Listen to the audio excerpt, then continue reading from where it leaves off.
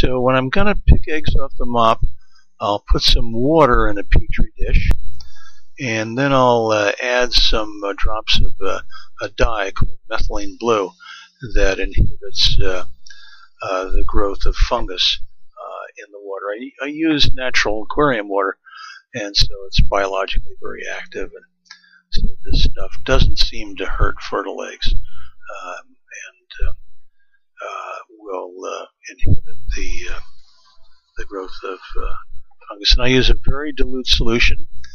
The base solution is 10 drops per liter of water, and then I uh, I uh, dilute that in the aquarium water. So it's not very much, but it seems to do the trick.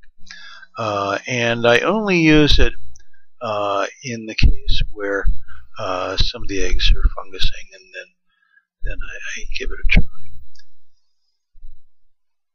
There's the mop. There's the petri dish. And now I'll show you some photographs of actually getting some eggs. So let's see there. So there's an egg on my fingertip that I found in the mop. And here's a close-up. So you see it here at my fingertips. It looks like a small uh, clear sphere. And uh, I'll place it uh, in, in the water uh, in petri dish. And uh, over a period of uh, some days, I'll watch it develop into a small fish You see the dark eyes appear, and uh, then it'll hatch out into a small fry. And uh, at that point, I uh, move the eggs. It's almost impossible to catch the little fry.